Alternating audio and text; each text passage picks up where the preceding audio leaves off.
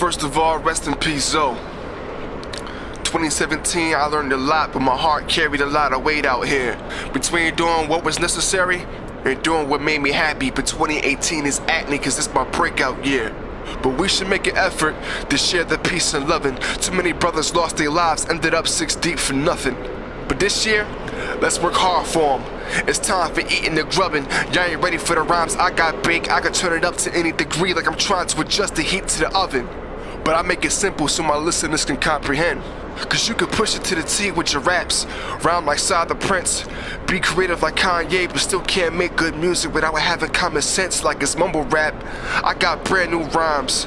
Fresh enough to come in the box covered in bubble wrap. But forget that. I plan to spend more time with the kids, cause that's more important than the views y'all trying to get. I mean, they all need guidance. Caskets coming to a close. You step on their Jordans, seems the only way to fix the crease is if they get steamed and they squeeze iron. But what's the root and the cause of all that? A loss of focus, perhaps?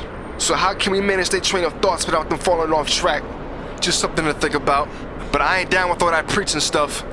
Cause it's awkward as hell. Cause I ain't perfect. I'm still in the grind, but sometimes I fall like Tony Hawk on the rail. Making sacrifices to get where I need to without blaming my foes. Like brainstorming whether I should rap or be in a trap moving that snow. Or being a gentleman without making it rain on these hoes. See, we ain't always gotta talk about controversial shit this year. We can talk about how we plan to have fun and live this year. See, the TD Garden during the playoffs is where I plan to sit this year so I can see my Celtics beat the Cavs in six this year. I plan to travel more, network.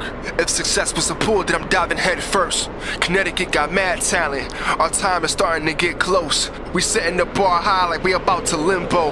We work hard for our dreams, so support your own. I know y'all charging for beats, verses, photos, web designs, and all those things, but by no means should information cost a thing. Ain't no limit to the greatness that we could bring. So let's do it from now to infinity. Lost Poem 2018.